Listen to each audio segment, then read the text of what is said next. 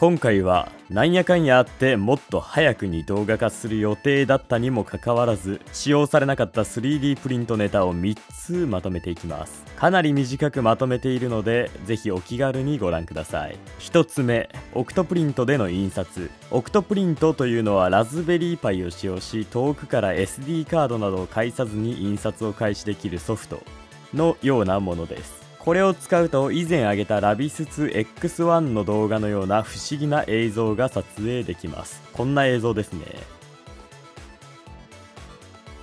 ということで使いたかったんですがいえ一応使えたんですがでもダメでした。1回目の印刷はめちゃくちゃ汚いとはいえうまくいったんですがそれ以降がダメでした。全く一層目が定着しません。どうにも Z オフセットの設定がオクトプリントの方に行っていない気がします。何度クリアランスやオフセット調整をしてもくっつきません。逆に1回目はなぜできたのか。Z オフセットを行う順番なんかが関係してそうだなと睨んでいます。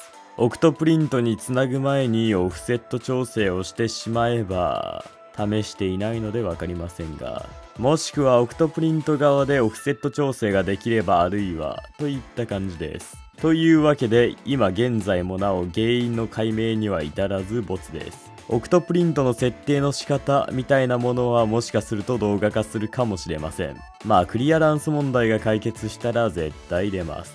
2つ目ノズルの交換。これに関してはボツと言っていいか微妙です。普通に使えなくはないんですよね。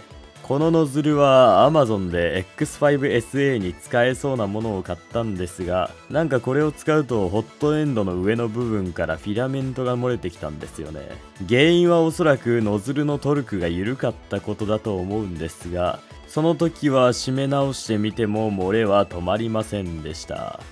現在実験的に同じノズルの新品をもう一度使ってみています。この動画よりも先に出す予定だったんですが未だ調整中ということで、まあ、今のところ実質ボツになったネタです。3つ目これは一番悲しかったボツです。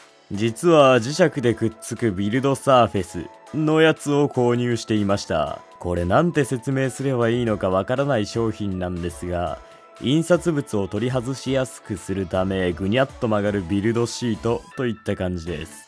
ちょうどラビスツの X1 のビルドシートがそんな感じですね。こういう風に曲げることで印刷物が取り外せます。これ意外と楽ですごくいいんですが、X5SA 用のものは使い勝手がかなり悪かったです。大きすぎるためなのか底面が平らになりづらかったですし表面が弱すぎて少しスクレーパーでこすっただけで傷がついてしまいましたまあ、これに関しては自分が悪いような気がしているので諦めます。といった感じで今回の動画は以上です。このチャンネルでは 3D プリンターをメインとしてガジェット紹介なんかもやっていきたいとか思っております。